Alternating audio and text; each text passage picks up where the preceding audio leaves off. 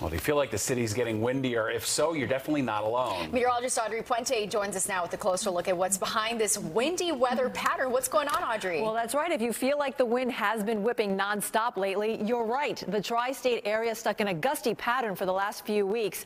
So let's break down the science behind it all. From toppled patio furniture to trees bending in the breeze, our area has been caught in what feels like a never-ending wind tunnel. Nelson Vaz is from the National Weather Service. What we've had is uh, uh, several storm systems over the last week or two that have moved across the central United States into the Great Lakes, into the um, interior uh, or southeastern Canada. And then we've had high pressure off the coast. And in between those two systems, um, uh, what we call tightly packed isobars or tightly uh, packed uh, lines of equal pressure. And the more of those uh, kind of equal uh, lines of equal pressure, those isobars, the more tightly they're packed, the stronger the winds are going to be.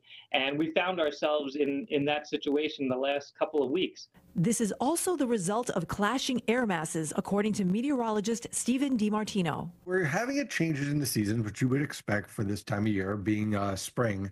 This year, because of a lot of different forcing mechanisms, the polar vortex collapse, tropical forcings kind of all over the place is leading to enhancement of the polar and subtropical jet streams. What that basically means for you is that Cold fronts and low pressure systems are a little bit more amped. Here in the city, it's even worse as the wind gets squeezed between skyscrapers. What would normally be a 20 mile per hour wind gust ends up being a 40 mile per hour wind gust because that air is being forced into be in between those two large buildings. This windy weather pattern is expected to last through the end of the month. As we move through April into May, you'll just have, you know, occasional breezy day, but for the most part, things will start to calm down and then we have to look out for severe thunderstorms.